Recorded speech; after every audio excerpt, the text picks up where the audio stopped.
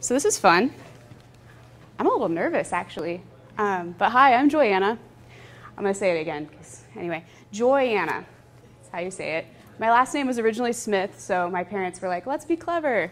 We'll throw a Y in Joanna. So, anyways, that's how my name's pronounced. Um, and I'm going to tell you a little bit about my background. Okay. Also, I'm going to figure out how to talk into a microphone. Woo. All right. Let's see if this thing works.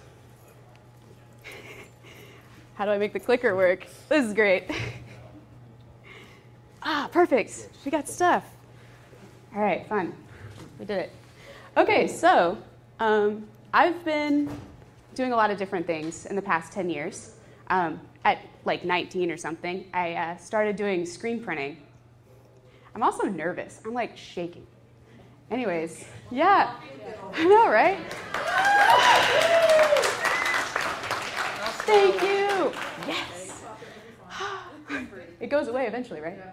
Okay, cool. So yeah, I made T-shirts. Yeah, I made lots of T-shirts. Like I did, uh, you know, screen printing, doing graphic design. So that's all related, I swear. Um, so I've done that, and then after I did that for a bit, I was like, you know what? I really like graphic design. This is great. I'm gonna go to school for that. So then I started working at a digital marketing firm that makes websites.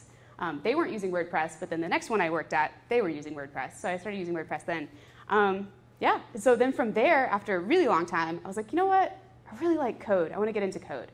So there are a couple things that have shaped my outlook on typography. And one of them is printmaking, because you're able to look at the actual letter forms, you're able to see it actually printed. So moving from that into working with like a as a graphic designer making websites and having these different responsive states where you, you have a breakpoint at you know however many places. I think at the time we were doing like six different breakpoints which was really weird especially coming from a design background because you're like oh man i took all this time to lay out this beautiful type and put it in the right space and make sure it's beautiful and now it's going to get weird. And then sometimes if it's a pixel or two bigger than the breakpoint all of that type is going to look incredibly different so that's a little bit of what's shaped my understanding of using the web and using typography. So from there, as a developer, I'm really, really interested in fluid typography. So that's the basic summary. Um, yeah. Oh, wow, this is great.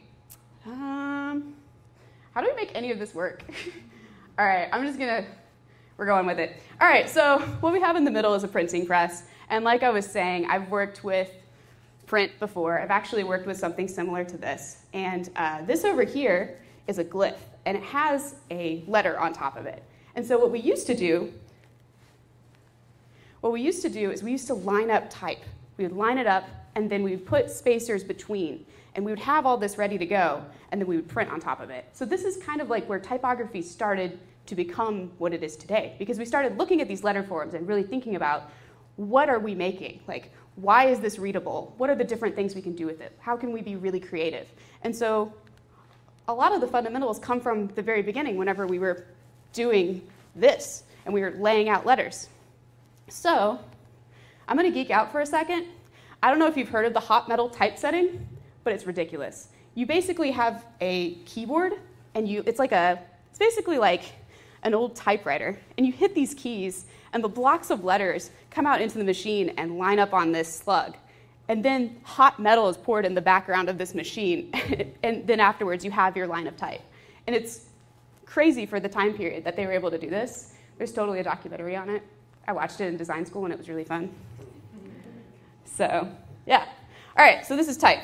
So, what we're looking at are all these letters, and they have different ways of lining up and we've learned a ton about the way we read and how we're able to take in information from this process.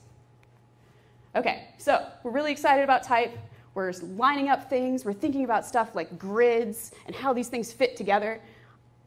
And as we're doing it, we start to come up with all these different rules. And that's where you get design fundamentals. That's where you're pulling in like leading, kerning, tracking, all of that. All of those concepts come from this. So this is a baseline grid. It's one of the best things. At one of the design firms I've worked at, um, I actually had to lay out like a 100 page book, and it was a lot of work. But one of the things that really saved me was the baseline grid. Because when you have a two column layout, having everything on the same baseline makes it easier for the reader. Your eye just tracks right over to the next line without there being as much trouble. So we're thinking about all of this. And there's a huge difference between legibility and readability.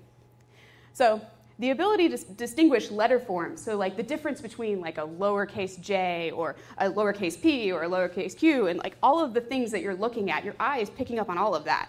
Um, that's why certain typefaces are definitely more uh, readable than others. But there's a difference between that and then there's and actually having type or design that affects the ability to make it understood.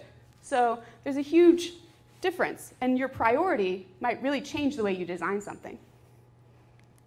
Okay, so let's start talking about type. All right, so I've talked to you about baseline. That's, that makes a lot of sense. And then there's also leading and kerning. So leading is the distance between the type, and then kerning is the distance between each letter. So the reason why that's important is because certain things will be much harder to read than others based off of that leading. Um, and it's really important, especially at the time, for newspapers and different books, making things accessible for everyone. All right, so here's tracking. Tracking is the distance between letters, and kerning is where you can precisely put two letters closer together based off of like the V and the A. That space is a little bit different. So going back to typography, going back to the different blocks that we're using and letterpress in general, um, what they had to do was put tiny pieces of lead in between everything. So, because of that, we have a really strong understanding of what works and what doesn't work. So, this is where we start to think about what we should do and what we shouldn't do as designers for people to be able to take away the information that you're wanting them to take away. And one of the things we talk about is line length. Like, if you've ever been on a website where you've literally had to turn your head to finish reading it. I'm not going to read that website for very long. I mean, maybe some people will, but that's just not a thing. It's the same for why we have double column layouts in print, or why whenever you're working on a book, you don't make your text span the entire page if it's a very large book. So these are all things we're learning. And okay, so this down here is what we call a display font. And basically, it's a font that's really interesting, has a lot to it but it would be very taxing on your eyes to read lots of that display font for a long period of time because your brain has to take all of that information in. It has to take in all of those different letter forms, similar to what I just talked about legibility, readability, different things. So, another problem is that if text is too small, it's hard to read because you can't see the shape of the letters. You're not able to distinguish your ascenders and descenders. That's just the part that goes above and below the letter. So, that's really frustrating. And if it's too big, it's hard to read because the horizontal flow isn't there. Your brain is just breaking up in tiny little pieces. So all of these concepts have been in print for a very long time. So as a designer, when you come into web and you're writing breakpoints, you know, you're asking your developer to write breakpoints where your font goes down a couple sizes here and there, like for four devices it's very frustrating because you feel like you have to let go of a lot of what makes design good design. Like you have to really be okay with sometimes your font looks like this and it's what, you know? So, yeah, because basically it'd be like if you had a book and every single page in the book was a different size and you never changed the font.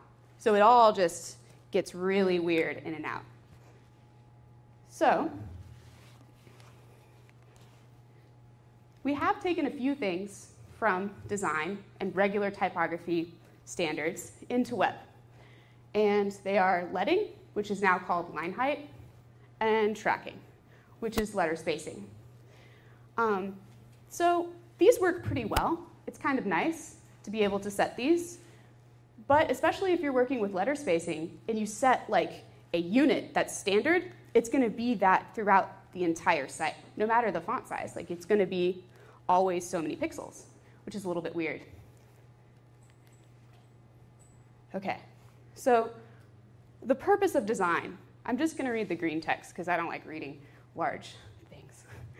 Um, thought needs to be given to how a user, reader, viewer will approach the task of obtaining the information from the design. So, a huge concept in design is user flow.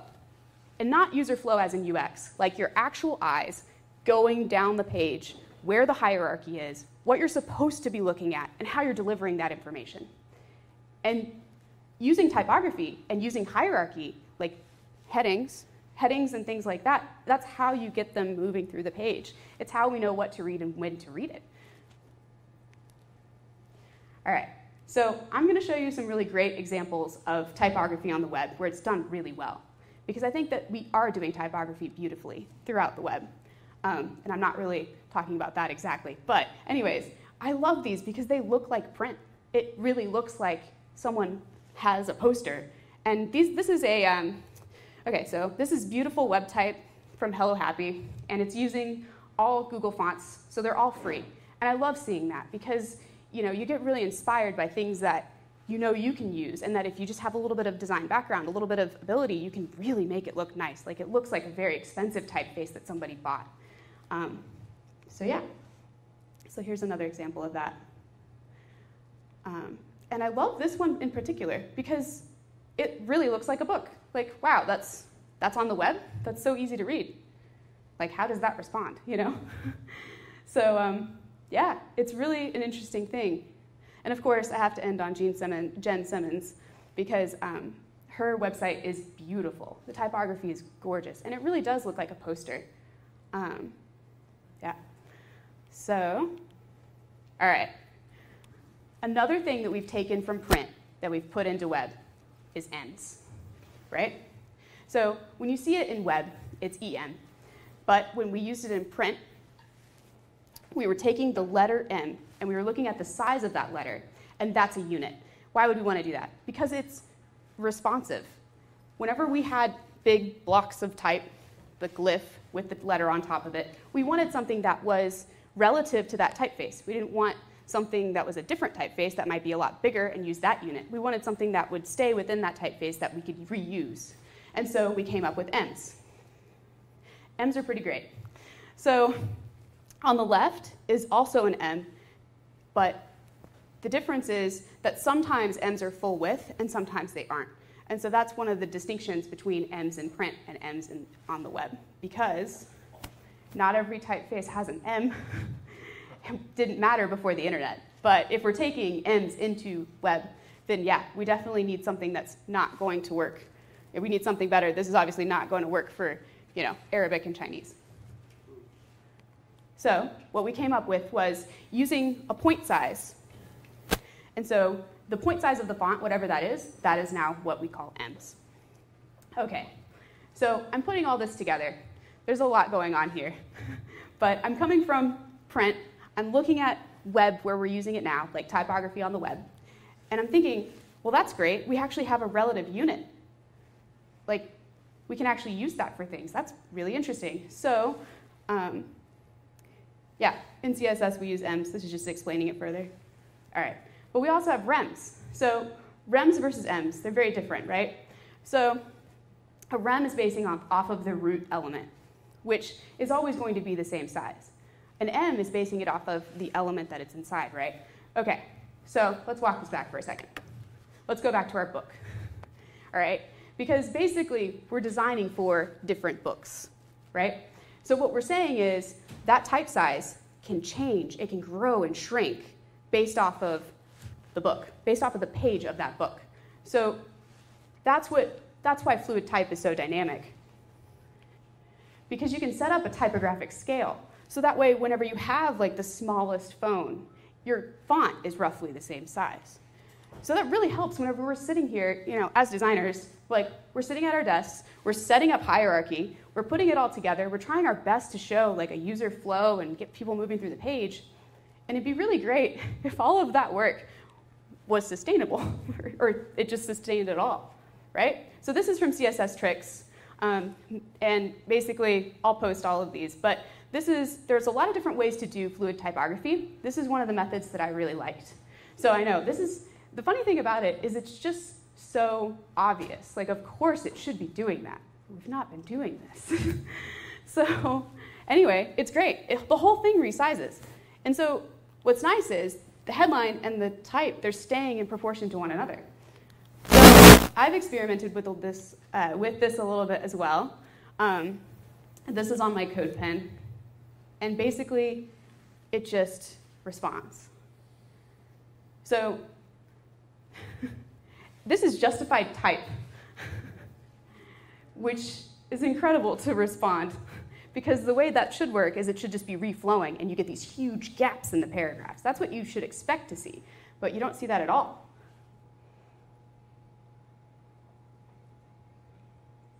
So if the whole thing is responding like this, right? If we've we've gotten to this place finally where we're able to control this medium that's so fluid, that's so hard to handle as a designer, well, why not let's do it with images too?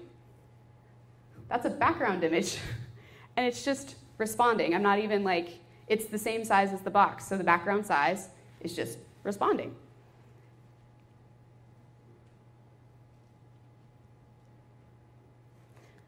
So yeah, I think we've spent a lot of time talking about design, and it was probably a little bit confusing. But this is basically all I have. I'm really excited about this. I'm excited about using fluid design and being able to just get things to do what they should have sort of already been doing in the first place.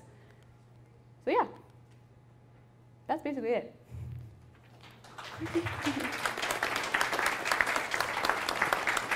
uh, so yeah, I'll take questions. uh.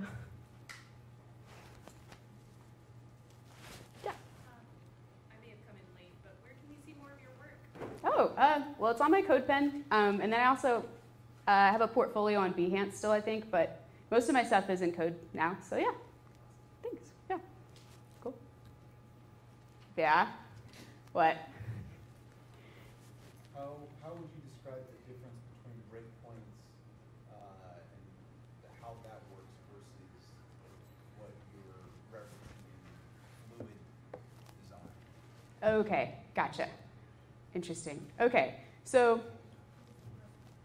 so his question was how when I'm referencing breakpoints, like what's the difference between that and fluid design? Okay, so the difference is you have a lot of different devices, right? And you can't really code for every single device.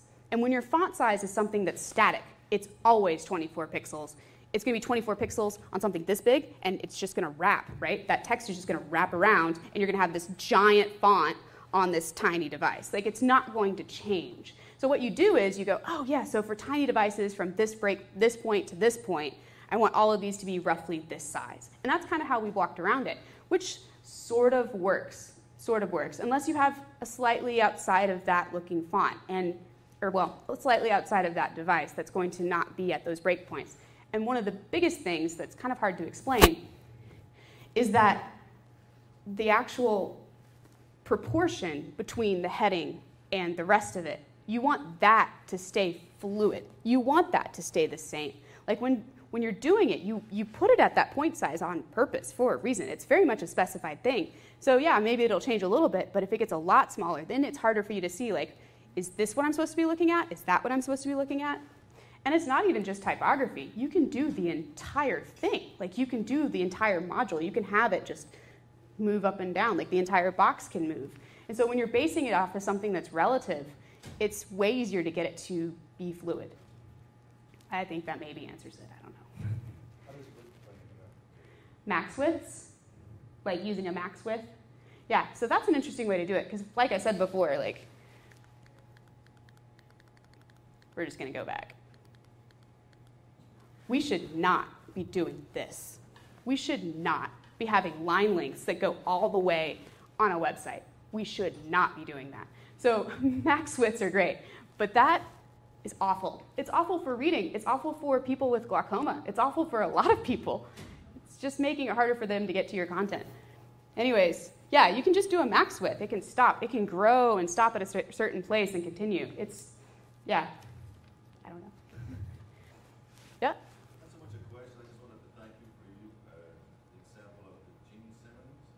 Yeah, yeah, yeah. She's great. Yeah, it's gorgeous. I think that's the most adventurous type of photography that's out there Yes. The PVCs actually started to incorporate No way, really. tilted tracks over headers. That's so cool. Yeah, I know. I have to go check that out. I'm, I love it so much. I'm such a geek about it. Like her stuff is just so beautiful. Yeah, I love it too. Yeah. It's one of my favorite things online right now. Yeah, for sure. We need really good web typography. We do. And how this reformats onto a smartphone, just Column, yeah. Yeah. Very smart. It's a really good way to do things. Yeah, once we start being able to utilize grid more widely, I think it'll help a lot of things. A lot more things can be more fluid with, with that. Yep.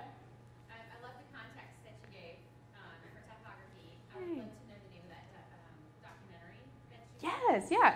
Yeah. Do you, do you know, remember the name of it? I'll tweet it out. I, I do my citations at the end, so I'll just tweet them out so you guys have them. Yeah, I'll put that in there. Yeah. Yeah? Um, me? Yeah. Okay. Um, first, I appreciate your enthusiasm and love of old kinds of movable type and printing presses. Yeah. Um, my question though is, where is the relationship between beautiful typography Mhm. and accessibility? Say for someone using a screen reader or someone who needs a higher contrast layout. I could definitely answer to higher contrast.